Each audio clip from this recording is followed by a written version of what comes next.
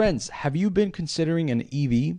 Are you concerned about if the electric grid that is really aging in the United States can handle your car and your neighbors? Well, you're not alone. Georgia Tech is trying to tackle this problem and they're trying to figure out how to take the load off the grid. So, buckle up. Let's get into it.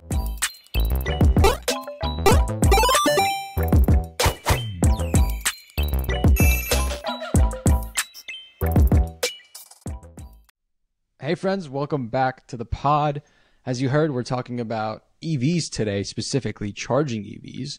And before we get into it, I quickly want to talk about today's sponsor, Mouser Electronics.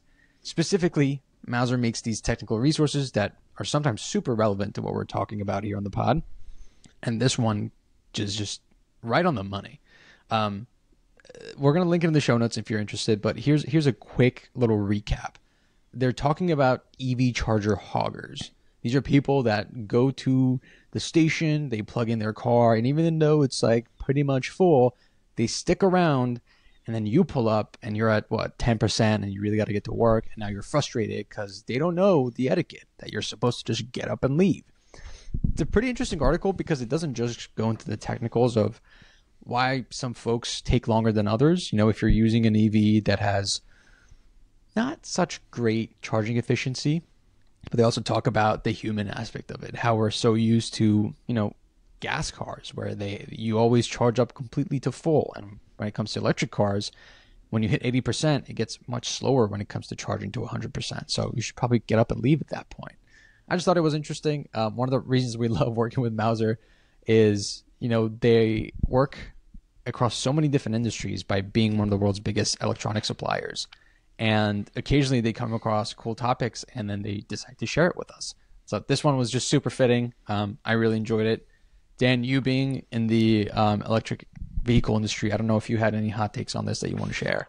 This isn't even really from working in the EV industry, more so being a social media user. Um, oh yeah?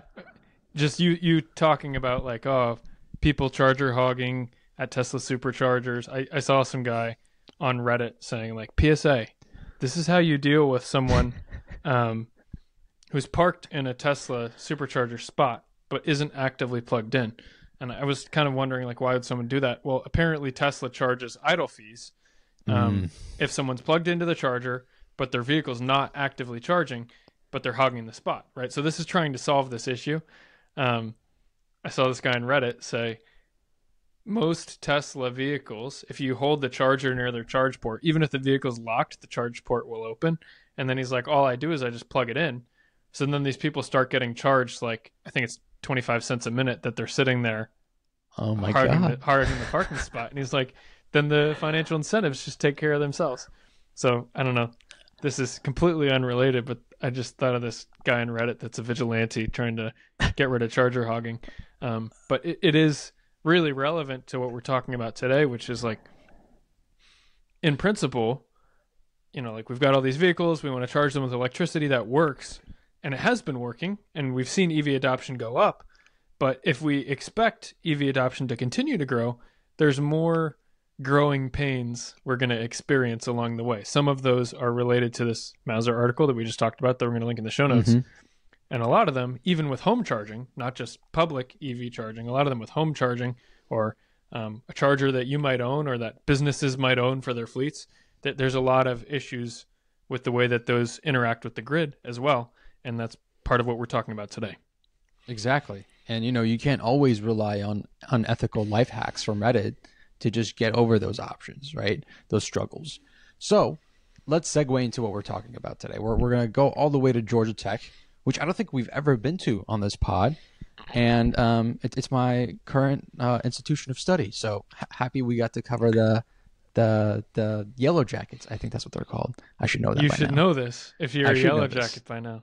I know. but, I know. Sports know, isn't my thing, It's unfortunately. it's a fine institution of which Farbod is now enrolled in. yes. um, yes. So take this favoritism with what you will. I'm Yeah. unbiased at least. Um, so if Farbod starts shilling Georgia Tech and I don't, you'll see I'm where our loyalties lie. three months invested, so not too biased either. But that's a good disclaimer. Um, I think before we actually dive into what's going on, you know, broad strokes, Georgia Tech wants to tackle this EV charging problem. And now what is the EV charging problem? That's that's the foundation I want to build here. So, we got to understand what the electricity usage is in America. And across the board, the average home is using about 30 kilowatts of energy every day, right? And when you think about EVs, it, apparently the average American is commuting about 40 miles every day. One What's up? just Yeah. kilowatt hours, Kilowatt not just hours. kilowatts, right? Yes, sorry. E- energy hours. versus power. No, I, I, I just I know that there's some super smart person out there who's gonna start pulling out their hair when they see us use units of power instead of energy. Yes, sorry. 30 kilowatt hours of electricity a day. Boom. And then every EV, assuming you're commuting about 40 miles a day, requires 11 kilowatt hours to charge up for the next day, right? Just roughly looking at those numbers, you're looking about 33% increase in electricity usage per home. Now, this might not be that daunting if it was what 10, 15 years ago when EVs made up 3% of the cars on the road, but estimates are saying that by 2035, 50% of all new cars sold across the world is going to be an EV. So this this is like coming. This is going to be our reality where you know one out of every two people you know is probably going to be driving an EV. Well, and I would mention, like Mm-hmm. specifically to the U.S., right? We haven't seen, maybe compared to some other countries, um, the high level of EV adoption, especially in Europe. There's there's high EV penetration in their market there. Um, but Same in Asia. Also, yeah, uh, Americans own way more cars than Europeans. Like, Mhm. aren't there more cars in the U.S. than there are people? Yep. it, it's it's insane to me. Um, there's definitely more cars than there are drivers, um, and I'm contributing to the problem. For like five years, I owned two cars, and I could only ever possibly be driving one of them. Um, so, just to say that, like specific to some of these, uh, let's call it like peak power demand, grid congestion problems. Even though in some parts of the world EV penetration or EV market share is a lot higher, um, I think that there's still a lot more challenges to come. So just for our international audience who, you know, you might live in a country where everyone's on their bikes or the vehicles are electric. That's great. That's a future that I would love to get to. But there's also unique challenges to mass EV adoption in the rest of the world. And I'm, you know, obviously I'm very US centric because that's where we live. But uh, thinking about the US, about China, where there's lots and lots of cars um, and lots and lots of people that drive cars, that there's you know, I would say the EV total market by and large is still untapped. Definitely. Definitely. Now it's you know we already kind of covered that this is going to result in an increase in the amount of electricity that your home uses on a per day basis. But the problem doesn't necessarily stop there. When you think about when people are charging their cars, it's usually after they come home from work. Like I say 5 p.m. in America. Well, that's actually the time that pretty much everyone else is coming home and they're doing other things like turning on their TV, turning on their AC. So Turning on the lights because it's dark turning on outside. lights. Exactly. So you, you have all these things that are already placing a load on the power grid. Now you're adding like an additional 33% on top of that. And like just frankly putting it out there. Our infrastructure is not ready to accommodate it. Right. Well, Like, and for all the people that work at EV companies and are excited about more EV adoption in the world, right, Hint, myself hint, Daniel. included, yeah. if there's grid overload overload risks like this, like if you buy an EV, or let's say if your neighbor buys an EV, and they plan on charging their vehicle when they get home from work, and then they start complaining to you every day, they're like, "Yo, I can't plug in my vehicle and charge because there's so much grid demand. My vehicle won't charge when I get home." Like, that's gonna hinder the growth of this industry if it's not addressed. And even if that's a path that a lot of people want to take, and it feels like that way, like at least regulatory pressure right now. Um, the market is speaking that way, and then there's lots of EV companies who are excited about potential growth of this market. This is one of the big hurdles in the way. Um, Absolutely. if if everyone wants to own one, and you want everyone to own one, but they can't all charge their vehicles when they want to, um, it- it's seriously going to hinder the growth of that industry. For sure. So like what do we do? Right? That's that's the million or even billion dollar question. And that, that's what these folks at Georgia Tech ask. Like well, how can we potentially solve this problem? And their goal is to, you know, mitigate this stress on the grid. But it can come with some other benefits, right? It can be cost savings for the average consumer in their home, all that. And the point of focus for them was on the actual charger, which I think is actually genius and relatable. And I'll get into that in a second. But basically, they were like, look, we can reduce the stress on the grid, we can minimize cost. We could even prioritize carbon free energy. You know, if you're the kind of person that's buying an EV, you probably care about going, you know, carbon neutral, carbon negative, and maybe you love the idea of solar powered or wind powered or whatever. And they, they could help you prioritize the energy source for your vehicle from those sources. And, you know, that this all sounds promising. But the the first thing that came to my mind, Daniel, I don't know if this came to your mind as well, was what happened with smart thermostats, right? Like we were just talking about heating your home, cooling your Mhm. home. Smart thermostats really became popular when I was a freshman, I think, in college. I think even our professor who taught HVAC was like, I have a Google thermostat. And then the economics of it totally makes sense because your Google thermostat could work with your, you know, whoever your energy provider is. And then they would say, have a smart schedule of some sort where you don't have your heat setting to what is super desirable for you during peak hours. And that would result in a tremendous amount of savings for you, a lower stress on the grid. And it's kind of like a win-win situation, and it, that that's become something that I feel like I see everywhere now. Pretty much everyone has a smart thermostat. Yeah, we've got one in our house, and we're even enrolled in like the the off peak energy usage program where, like, I think we ended up like the last six months getting like a forty dollar credit against our power bill because of our enrollment in this Mhm. program. So, um, yeah, I, I, I like this analogy here around like you've we've already got the appliances and people are going to continue to want their appliances and they continue to want energy demand but if you can add some level of intelligence somewhere in the consumption chain right similar to a thermostat being you know kind of the control adding some intellig- intelligence to that with context to the way the rest of the energy grid demand looks like um, is there the opportunity to optimize the user experience optimize the cost optimize the impact on the environment um, all without then compromising on the actual function of the appliance itself, right? You know, you don't want your heat to not work at all. You don't want your AC to not work at all. But um, finding a way to compromise versus peak energy demand and the knock-on effects that that has, I, I like the analogy you drew there with smart thermostats. And you know, I, I want to use that context to now go back to EV chargers. I I don't have an EV, but I feel like if I did and I came home and I plugged it in, it would be more out of habit than necessarily needing it to be charged in the next hour or two, right? Like more often than not, when I come home from work and I park my car, I don't need it until the next day. Well, yeah. So- let, let's say you have your average commute of 40 miles a day. Mm-hmm. you know, maybe it'll take a couple hours to charge, two, three hours. Maybe it'll even, if you charge it really slow, it could take, I don't know, eight hours to charge. But even if you plugged it in the second when you got home at 6 p.m., you don't actually need it to charge eight hours later by two in the morning. You're not going to get up and drive in two in the morning. So, exactly. um, like you're saying, right, the habit here, of people plugging in their vehicle right when they get home is just because they want it to be charged when they leave in the morning, not because they actually need it to charge the second when they get home, which also happens to be peak energy demand. So I'm with you. There's a lot of, uh, let's say, um, human factors associated with that. Um, similar to the way that, like, when I go to bed, I plug in my phone to charge, but I don't actually Boom. need it to charge to 100% by 2 a.m. in the middle of the night.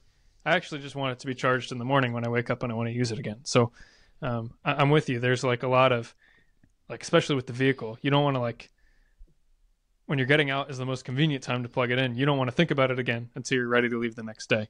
Um, so we're kind of setting ourselves up here. But this team from Georgia Tech is looking at algorithms to understand the stress on the grid, to understand where there's peak energy demand.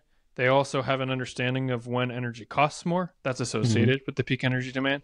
They also have an understanding of renewable energy sources, understand when wind and solar are available on the grid. Um, also understand, uh, like in a fleet or a commercial application, trying to understand what the collective energy demand could be if you have a bunch of, I don't know, a fleet of 15 trucks um, because you're an electrician, you know, electrician company, and you've got 15 trucks that your company uses, and they all come home at the same time, and they all plug them in, and then they drive their personal cars to their houses. Understanding what the energy demand of your fleet of vehicles could be, um, they've got all this different information, and what they're trying to do is similar to, like you said, with a smart thermostat. They're trying to help the user control the charging demand, control the flow of energy into that vehicle um, to optimize for low cost, to optimize for low impact on the grid, to optimize for better impact to the environment, um, and then also to understand the health of the battery. And then obviously, the, the main function there being the same way that a smart thermostat still makes sure that your home is the right temperature, make sure that the vehicle is completely charged by the time you need to leave in the morning. So, um, kind of collectively looking at all these different factors that right now, if someone just comes back to their house and plugs it in and has a not so smart charger, it's just going to start charging the second they get there. And that, again, like we said, can help contribute or I guess exacerbate peak energy demand on the grid. Exactly. Now, like the the genius of this is understanding that what most EV users have plenty of is time, right? From the moment you plug it in to the moment that you need it, there's a lot of time that you can leverage to do the charging. And some of the factors that these folks, the algorithm they made takes into account is, like you mentioned, the state of the grid. You know, how much does energy cost? Is is it during a period of time where the the grid could be overloaded? Um, it also takes into account customer preferences. So, like, let's say you are someone who actually does need their car by 4 a.m. instead of 8 a.m. It does take that into account. And this is something that is especially unique. Um, it takes into account predictions of your household's power usage. So, you know, we were talking about the 30 kilowatt hours that you use a day, maybe 20 kilowatt hours of it for whatever reason happens between 5 p.m. and 10 p.m., right? And that is a consideration for when your car's charging is, is going to happen. On top of that, usually what I've seen in the past when it comes to EV charging is you, you can have trickle charging, so like slow charging, or you pick a window of time to do all your charging. Um, what is recommended here is that you can actually have windowed charging, where let's say for whatever reason, this algorithm determines that between, you know, 10 p.m. to 12 a.m. and then 2 a.m. to 4 a.m. That's the optimal time for your car to be charged because of cost or because that's when the most amount of wind energy is available. Then it will pick to do that for you as a part of the strategy to charge your vehicle. Um, there's other things that it offers, which I think some EV manufacturers might offer. Um, Daniel, you were mentioning this before we got on the call. Things like battery health, like making sure the rate of charging is not going to you know deteriorate and degrade your battery faster over time. Um, things like speed, how fast you want to charge it. Then there's you know a, a unique factor like carbon free. I don't think I've ever seen this before, where you get to say again, I want to use the amount of time where wind and solar are most plentiful because I want to be super green. And, you know, that's that's pretty unique. Well, and one of the things we were talking about, and I think it's worth discussing again, right, is maybe some of these uh, features exist on a Tesla, as an example, mm-hmm. or on a Hyundai EV, or on a Rivian. Um, some of these features may exist, but um, having these features available at the charger side makes it easy for anyone with any brand EV. Um, and I'm thinking specifically of like fleet vehicle owners, right, where mm-hmm. they've got um, maybe two Ford F 150 Lightnings and they've got one Rivian commercial van and they've got one Tesla Cybertruck and they've got two Tesla Model 3s, right? They don't have to worry about going across all those different manufacturers controls to try and set this up vehicle vehicle by vehicle again specifically for a fleet owner perspective you can set this on the charger side and use the same charger for all these different vehicles which is what a lot of people do um, especially now that there's the north american charging standard tesla mm-hmm. um, open source yep. their charging standard um, if everyone's using the same plug um, and everyone can use the same charger why not control the charger which is the your you know as a fleet owner, that's your interface with your grid. That's your interface with your energy costs. That's your interface with when vehicles are ready. Um, and then I like the fact that they've uh, tested with different EVs. They filed for a patent here. Um, right. And one of the ideas is that they not just want to commercialize chargers, but they also want to be able to license this same logic, this software to EV manufacturers as well. Maybe for different Exactly. EV companies that don't have these features already, um, they can borrow some of this. And again, the goal here is to make um, all of these features available to all of the EV owners everywhere. Again, with the big, large goal of reducing grid stress, making sure that EV adoption isn't something that stresses or breaks the electric grid, you know, causing the fundamental desire that people have for this technology to be limited because of the fact that they aren't able to conveniently charge at their homes. So I, I think this is pretty interesting. Um, I love that they built their hardware, they built their software, they conducted case studies, um, and then the eventual goal is like, let's get this licensed out to companies and automakers everywhere. They're not saying, you know, I've got to, you know, we've got to make a new charger company from the ground up and we're going to take over the world. Or they're not saying we've got to make our own EV company and take over the world. They're understanding that they've got a really, really useful piece of software that's a platform that any EV company, any EV charger could use. And I'd love to see this technology roll out at every EV charger everywhere. Totally agreed, man. And I'm so happy you brought up the North American charging standard because, like you said, now there is you know one universal plug that everyone's kind of getting on board with.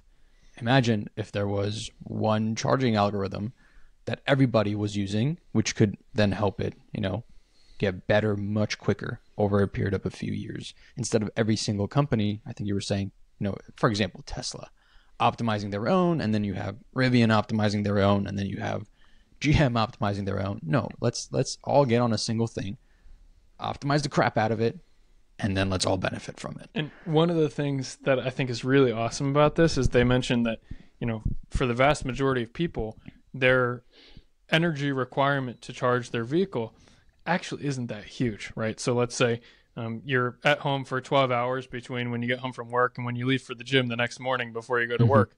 Um, of that 12 hours, maybe you only need to charge for one to two hours of it. But if everyone is using a similar algorithm and they're saying, "Oh, I'm going to charge when we're off peak at uh, I don't know. I'm looking at a graph right now. A static period energy of time. demand. Yeah. Yeah. Everyone wants to start charging at midnight because that's when energy demand is low. Mhm. There's actually going to be a spike in energy demand, especially Exactly. related to this being a, potentially another 33% of people's total total energy consumption. So it's not a tiny bit. It's a big drop in the bucket and everyone's going to drop it at the same time and it's going to make a huge wave.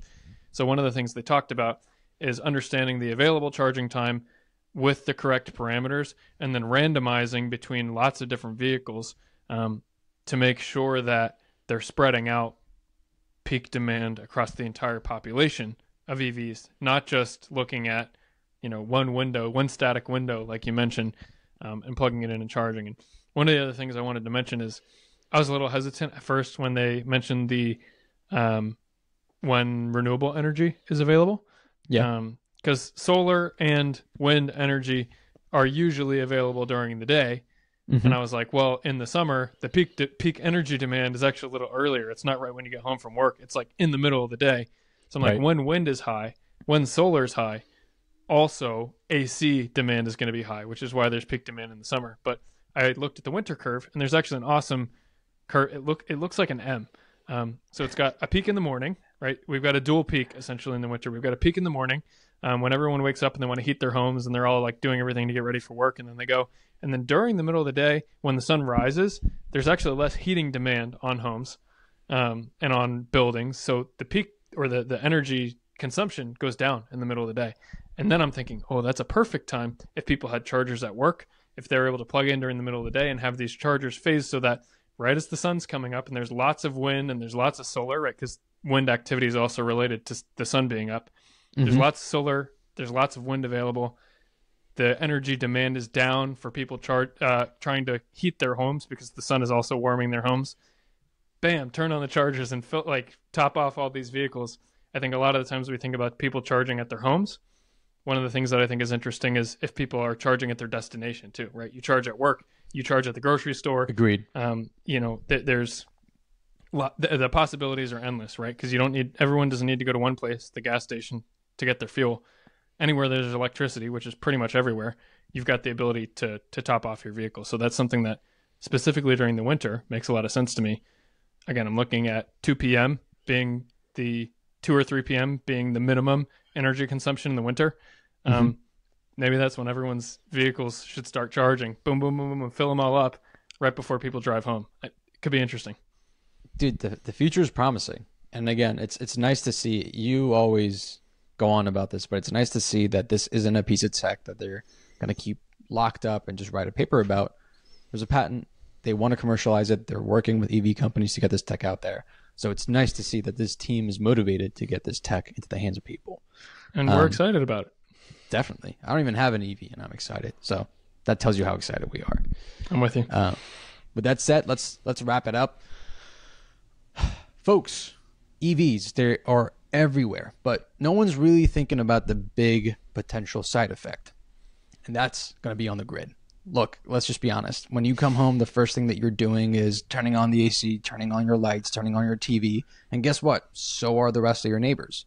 Well, what happens if at least half of you, at least that's what the estimate is by 2035, half of you are going to be driving an EV and then you want to plug in that car right as you get in. Well, it's going to cause a 33% uptick in the amount of electricity need.